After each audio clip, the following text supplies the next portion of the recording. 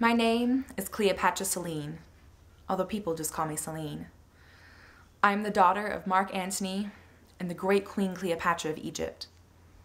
At least, I was. I grew up in the city of Alexandria in Egypt with my twin Alexander and my little brother Ptolemy. Our childhood was perfect, fun, easy, adventurous, everything a princess could wish for. But then, one day, that all changed. It was the day that we, the Ptolemies, lost everything.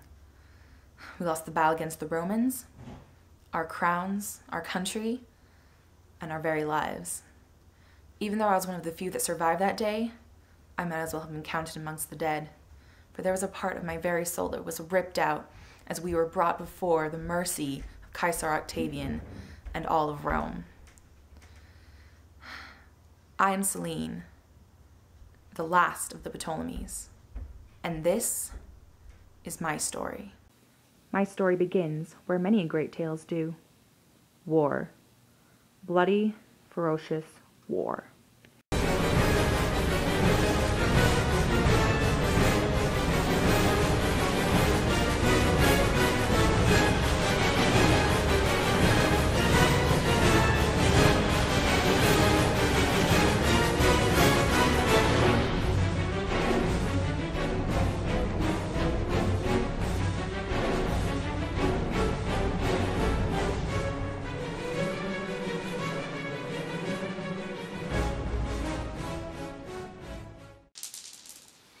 There's no reason our father won't beat the Romans back. I mean, he has everything to fight for.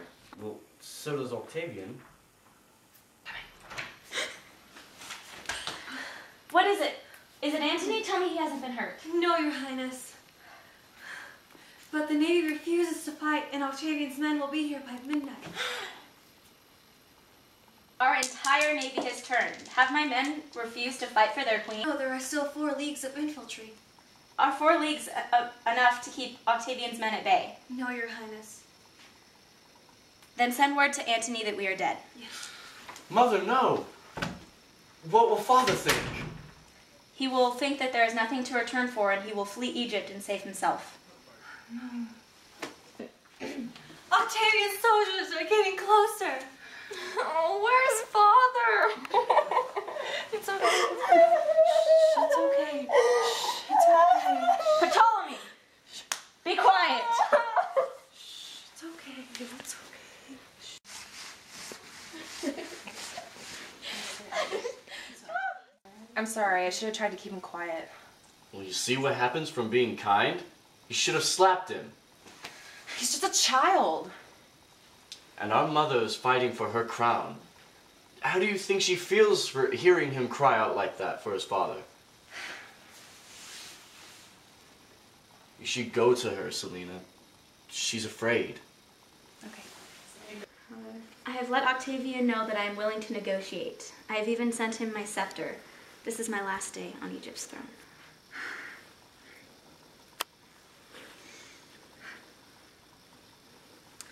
These have always brought me protection, Selene.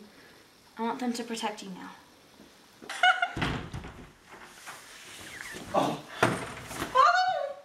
He's tried to kill himself. He's dying. You were dead. Antony! Because I told them to, so that you would flee, not try to kill yourself. Where are my sun and moon? Mother, no. I need you alive. No. Ooga shaka, ooga shaka, ooga, ooga, ooga shaka. Ooga, ooga, ooga shaka. Only when I have assurance that my children will rule over Egypt. The Ptolemies have ruled over Egypt for nearly 300 years. And what do you suppose? Roman rule? I don't think the people will support that. Your people have already fallen over themselves to show defense to Caesar Octavian. He has taken Julius's name? He has already adopted a son and the heir of Julius Caesar.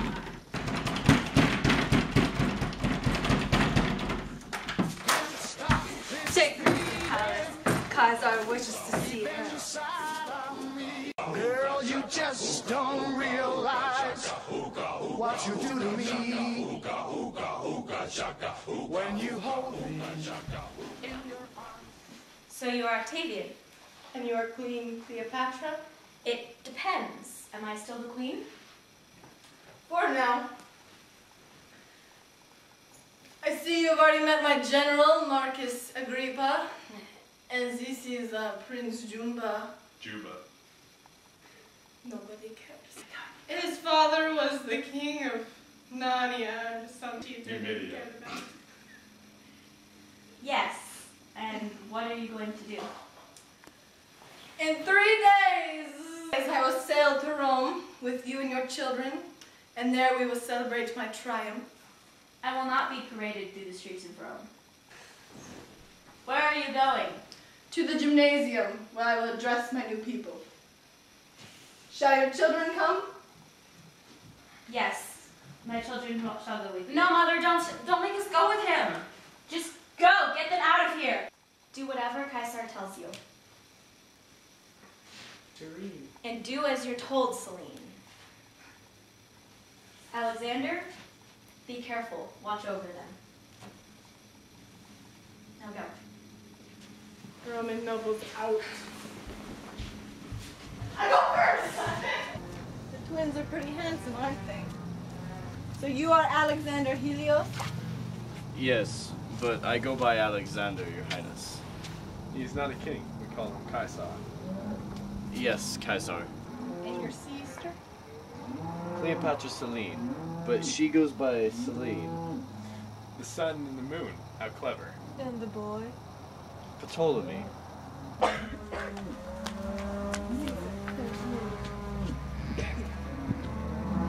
What is it? Your mother's dying. You must go see her at once.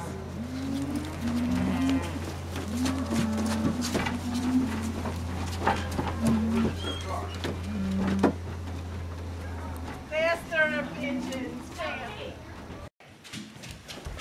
Mother! Mother! Mother! No!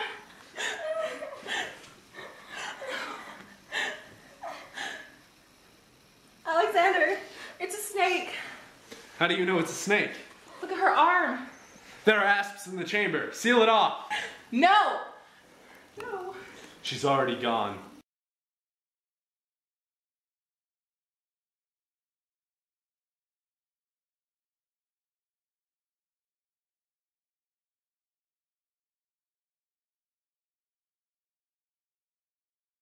Will you really keep the children alive?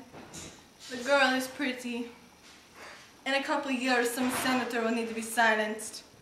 And the boys are young. Keeping them alive will seem merciful. And Rome? In a couple months, when affairs are settled here, we'll, we will set sail.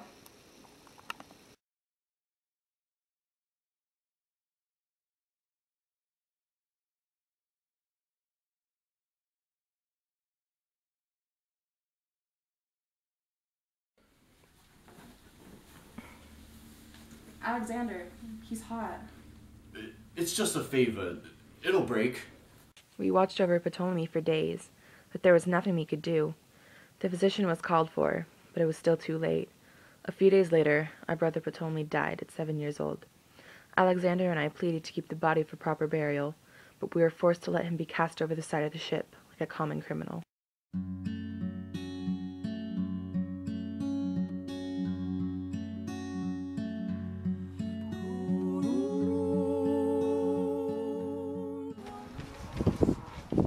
I wouldn't think it, princess. Have you ever seen the body of a drowned man? It swells five, even six times. It grows black and the skin peels away. Would you like to end up as a body drowned at sea? Then about an abandoned Caesar's prison.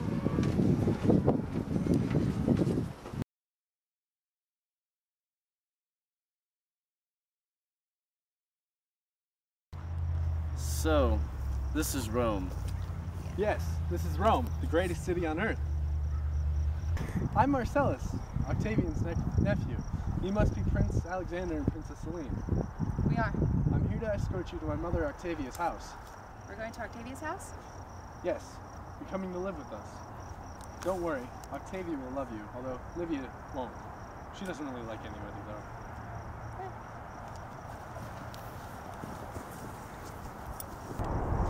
This is my mother's villa.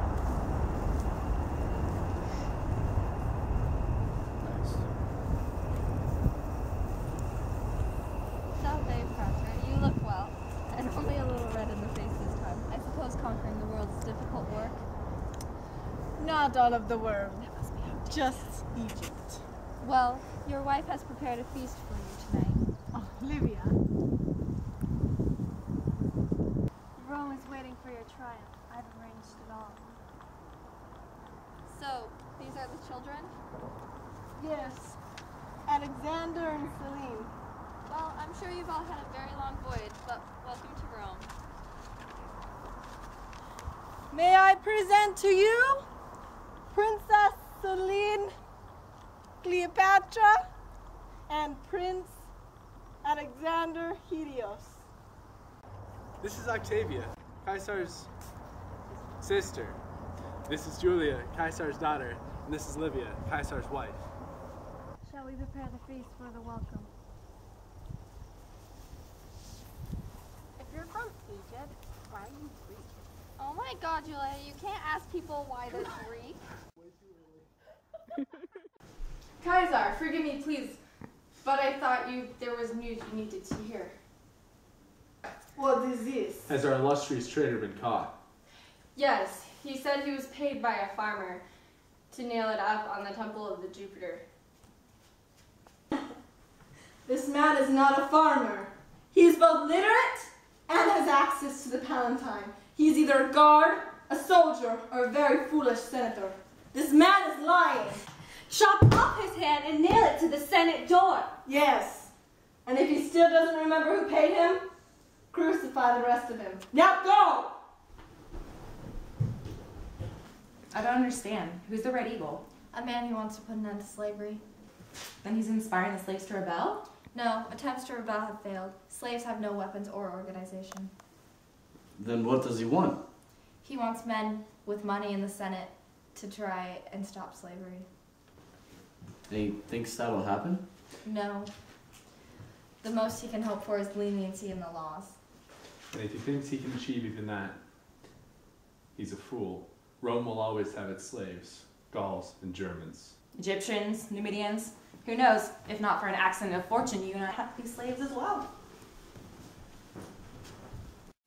The next day, Alexander and I were sent to study in the Ludus with Julia and Marcellus under the direction of Magister Varius. Aside from the things that Magister Varius taught us in the Ludus, we also soon learned that Julia and Marcellus were engaged to be married.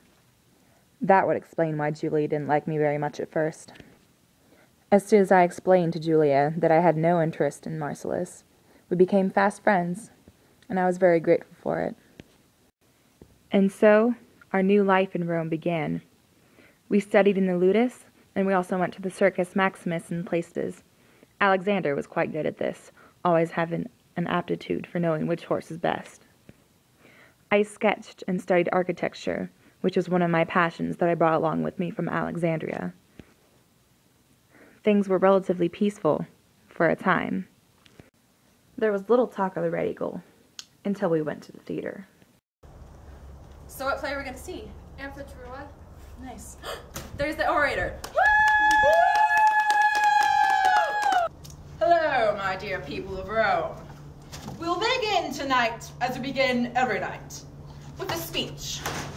What topic shall we have? Beauty of baldness! The battle of Actium! Unicorns! Cows! Electricity! The value of a cheating wife. Aha, sir, there we have a topic. When the horns of cocklery grow on your head, there are many different uses for them. You can impale your enemies or scratch an itch. There are many values for a horned man, not to mention a horny woman.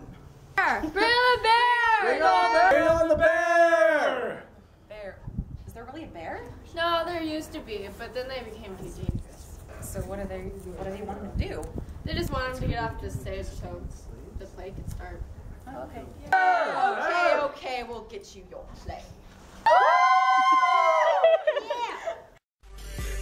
Drop it, shake it, pop it, lift it, drop it,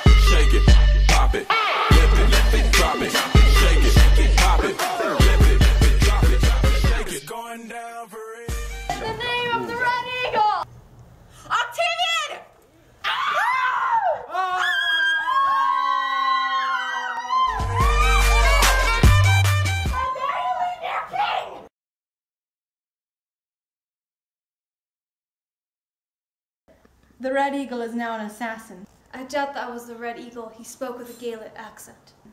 So what stops this rebel from being a slave? Look at his acta. Uh, are these the writings of a slave? Eh, so what are you saying? This has nothing to do with the rebel. Yes, this was a slave hoping to share in the Red Eagle's glory. There is no glory in being a traitor.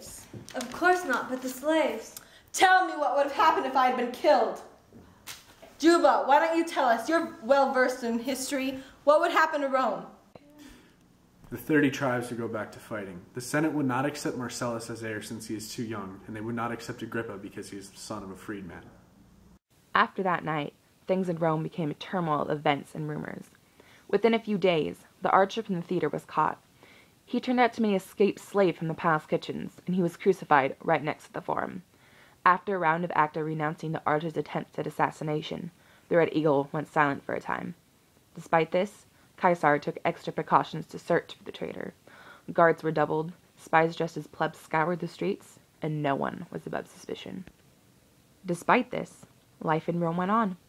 We studied in the Ludus with Magister Varius, and we went to the Circus Maximus regularly. Winter came and passed, sickening the weakling that the Caesar of Rome was, but with the coming of spring his health rose again with the warmer weather. Soon came time for the celebration of Marcellus's coming of age ceremonies. It was to be a grand festival, and Julia insisted on going straight to the Forum Boarium to purchase cloth for new tunics. Of course, she also insisted on dragging me along with her. How could anyone stand the smell? It was your idea to come here. But I mean, look at them. They're so poor. Welcome to Rome. Have you ever seen so much dirt? I bet they don't even bathe. I mean, it's their job working with cattle all day. What was that? What?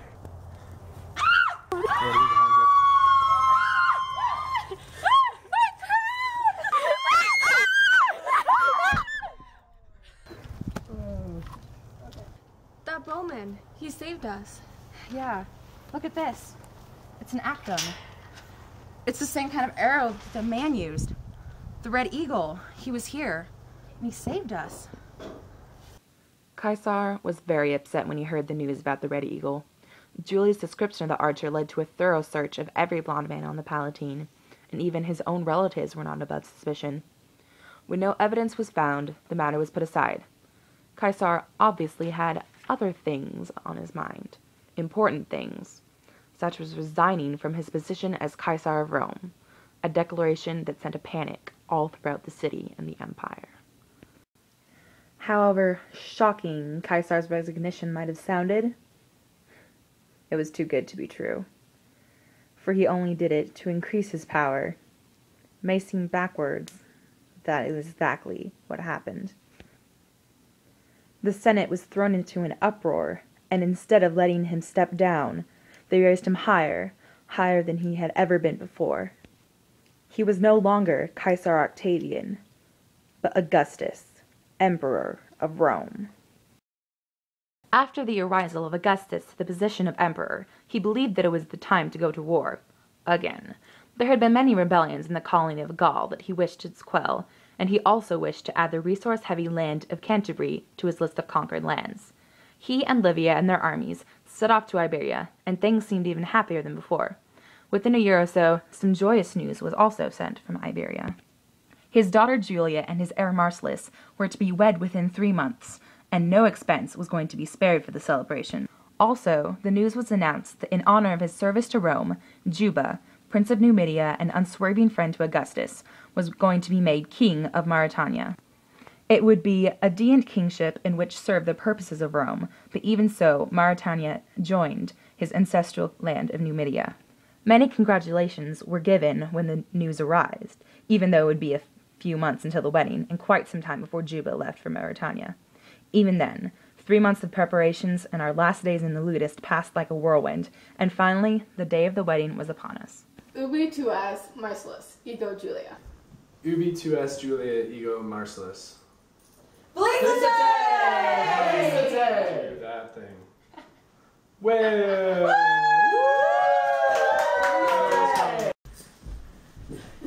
Some wedding. It'll be us next. Maybe Augustus will never return.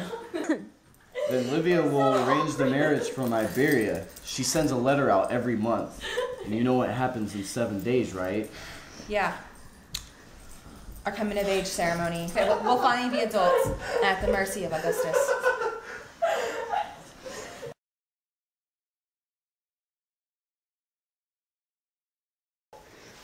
Felicia Diem Natalam, Selene! What's what? What's going on? Nothing. I'm ha- I'm wishing you a happy birthday. Oh, happy birthday. Julia and Marcellus are here to take us to the circus and then the theater. Oh, good. Let me get ready. Happy birthday. Oh, happy birthday. I have a letter from my brother that may interest you too. What? On this day, the coming of their age, I hope you will wish the Gemini well. There is nothing nearly as momentous as the passing from childhood to adulthood, and it is an occasion that merits serious consideration. When I return, it shall be my foremost duty to see that a good marriage is made. Be sure to warn the Princess Selene so that when the time comes, she has made herself ready. What? What was that? What, what about Alexander? What about returning to our throne? I'm sorry, that's all it says. Oh, hi. Are you guys ready? Oh, yeah. Yep, let's go, girl.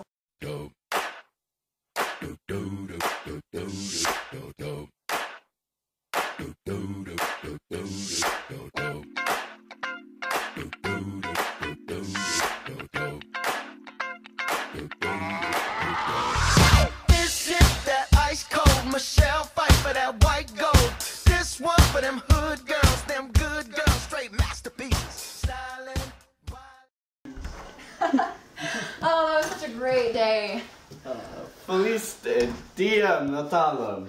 Sleep Where, well. where are you going? Uh, I'm not tired yet. I think I'm gonna go for a walk around the villa and maybe to the garden. But get some sleep. Don't wait up for me. We both know how much you need your beauty rest. Good night, brother. Good night, sister. Little did I know, that was the last I would ever see my brother alive again. For that night, a horror beyond my wildest imagination occurred. Alexander's dead! He's dead! Do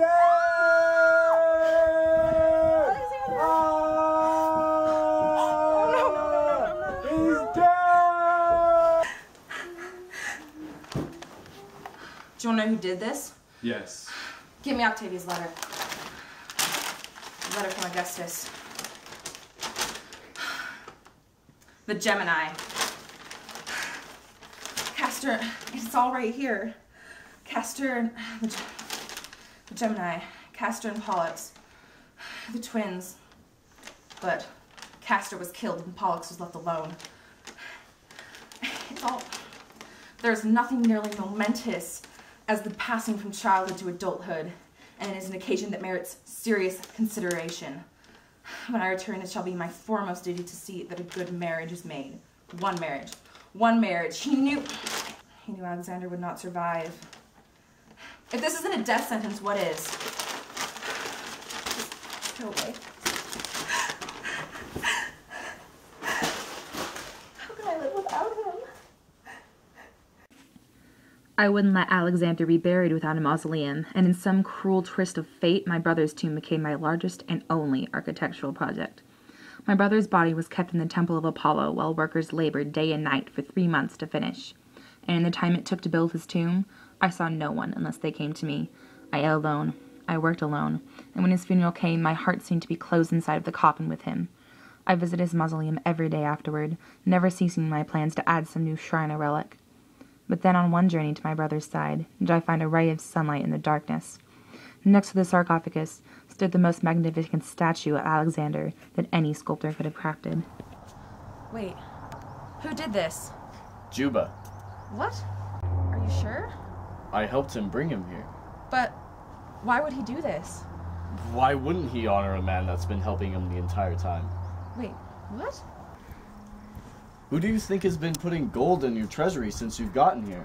Octavia. He may have given you a couch and food, but it was Juba's denarii that is put inside of the Temple of Saturn. I should know. I counted the coins.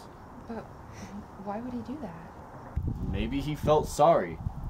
He knows how, what it's like to lose the kingdom and have to work, even with a tunic on his back.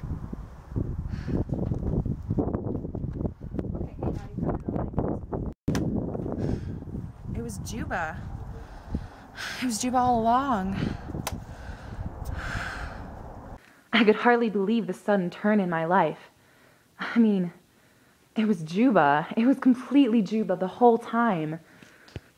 All the times that I had secretly loathed him for being snobbish and combating my stubbornness with his cynical replies. I finally understood. He was there the whole time for me and my brother. It wasn't Octavia, it wasn't Caesar. It was Juba. I had never once stopped to wonder where the money in the Temple of Saturn had come from. The money that my brother and I squandered away at countless races and clothes and jewelry. But it was Juba. I came to realize that he had been there all along. He was the one who came to my side after Alexander's death, and the one who stopped me from jumping after Ptolemy's. I wanted to find Juba and thank him for everything he had done, but a few matters got in the way. For that evening, it was time that Augustus returned. He, Livia, his armies, and a thousand Gallian slaves. He is returning! Augustus.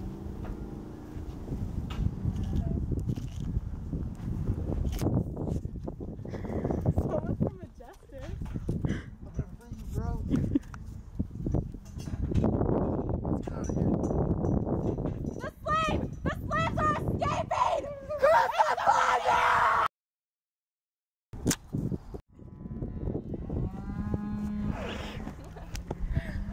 He's been shot! Come back, Selene! No, he's been wounded!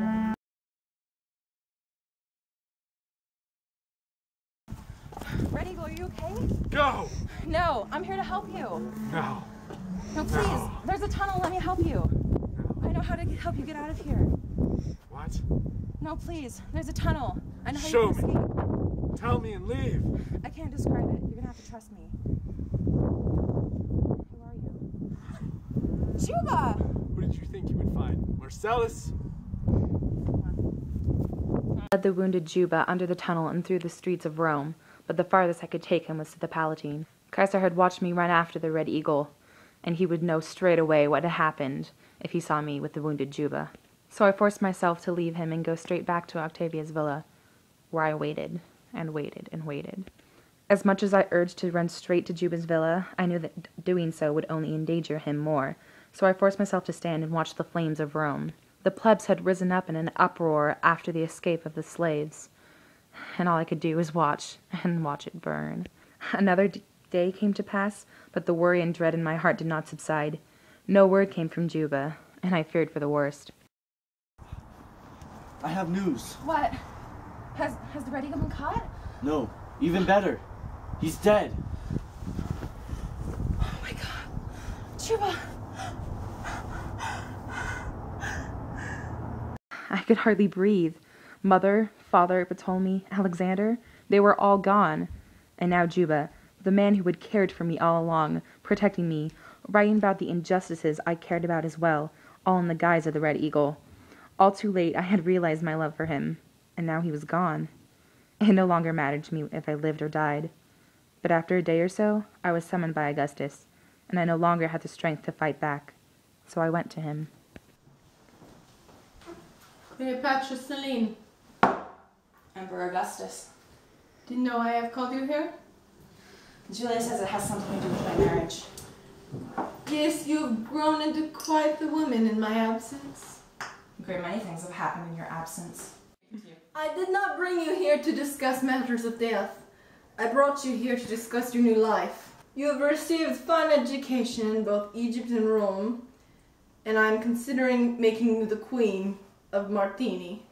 You mean Mauretania? Whatever. I, I don't understand. I thought the Jew was ill. No. He will recover quickly. He's waiting for you in another room. Young lovers. They all die. Juba, Juba! I thought you were dead. Well, I'm not. Oh my goodness. Are you crying with happiness or with disappointment? How could I be disappointed? Is it me or the red eagle you wanted? Perhaps both. But you know, the red eagle is gone. I've done what I can, but someone else must continue the fight. Will you be my queen? Yes. Let's go.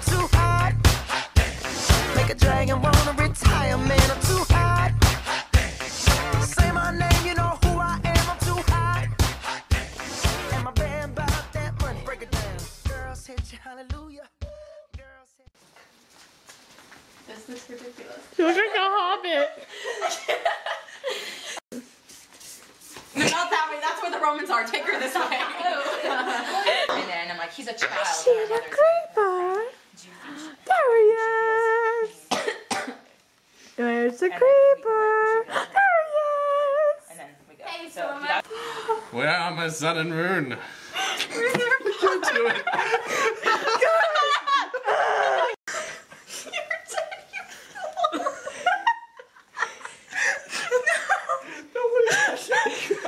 Stop! Oh my gosh. Why is the dead man laughing? That's worse. Don't look at anything then! I Sail off into space! You're Caesar! He's Caesar. Okay, go. Beautiful. Goddesses. And then there's me. And then there's him. Little peasant. Okay.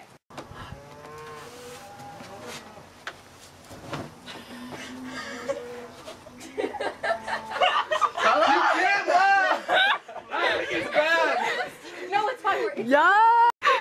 Okay. Hey Vicky, how you doing? Oh. Okay, they're done. They're done. Okay. Your tongue is falling off. Okay, go. The tongue is always falling off. Parkour. Parkour, parkour. Parkour. Parkour. Parkour. Okay. Here we have a ninja at its natural habitat. His Batman pants. With his Batman pants, trying to be Batman. Look at all those emus. A lot of emus. Kate! And there are dogs. Big dogs. Who talk like they're horses. I think that season's more scarier than the drop. This is not a part drop. I know. We did it last time. There are goddesses on Mount Olympus. This is what they do. They sit and lounge about everybody's life, especially Zeus. We are The tongue has been messed men. up forever. Oh wait, she's a man too. Girl, he, she's unite.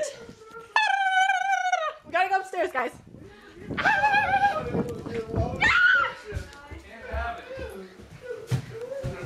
Wait, am I in this scene? Yes. Ah, oh, sh- bring my cape. So, I really want to see him trip. Okay, so Cleopatra paces while we sit on the bed. So then. Say. No, I can't just say it. I don't know what I'm supposed to say. I ask you, so you are Octavian. You come up to me. Yes. Study me. Study all three of Study you. us. I am taking over your country, and you think you have the right to study me? I am sorry, but I am still queen of this country until you tell me otherwise. Okay. yes, and I presume you're Queen Cleopatra. For now, I suppose you have already met my general Marcus Agrippa, and this is Prince Juba. His father was once the king, the king of some country. I do not know. Numidia. Oh no. I'm gonna have to correct you in there, aren't And I? then I said, "Ooh, that'd be funny." That would be funny if you mispronounced mispronounced it. it. Prince Juba. Yes. yes. Prince John. Okay. Jumbo, And then,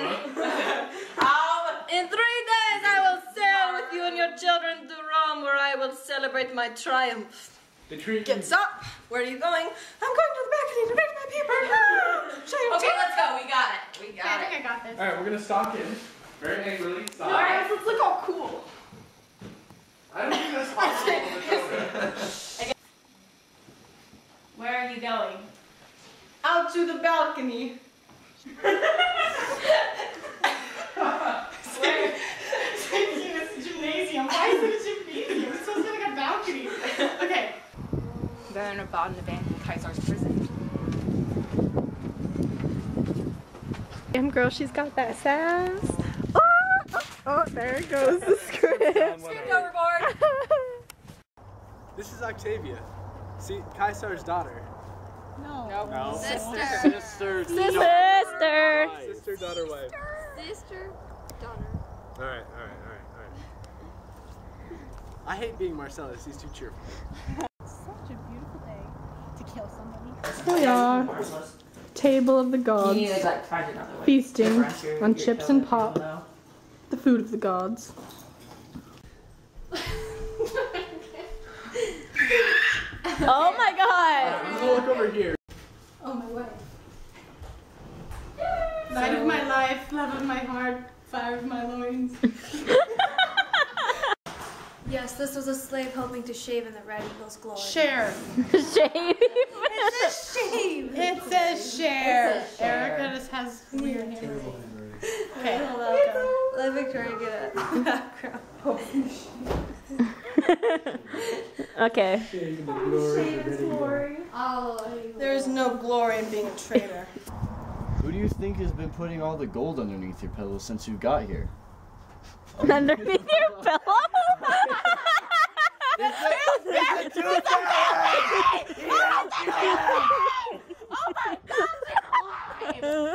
Can't you retard that?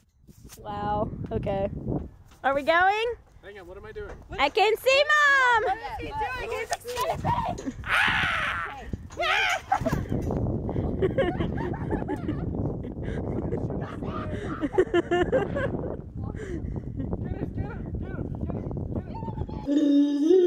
Go.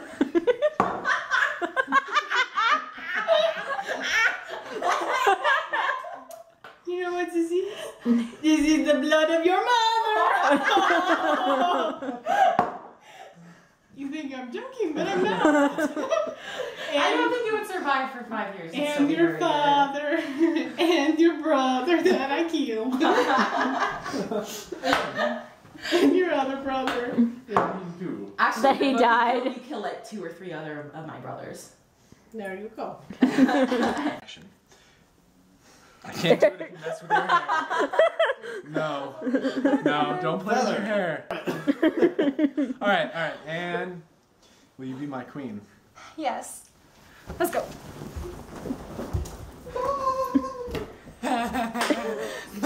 Ship has sailed.